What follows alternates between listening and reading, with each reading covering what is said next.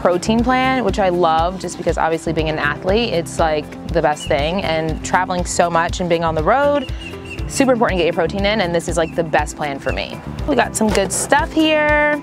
Chicken with broccoli and quinoa, smoky steak with vegetables and brown rice.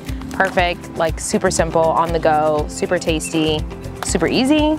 We love it. Got any snacks in there? We do. We have buttercups with the coconut and almond filling, which is amazing. And then one of my actual favorites, like best snack, like airplane snack, um, and the, your tennis bag snack is the almonds, the cinnamon maple recipe, which is super good. I always say, treat yourself, don't cheat yourself. So, really fab.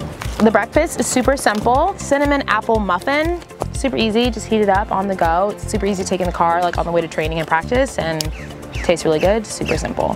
What's your favorite meal out of there? My favorite meal is the Cajun chicken with potatoes and brown rice. It totally gives me like a New Orleans like Cajun vibe. I love New Orleans, so this is definitely one of my favorites. What are we gonna do now, Sloane? Well, I'm gonna go play tennis and you are gonna leave. okay, thanks.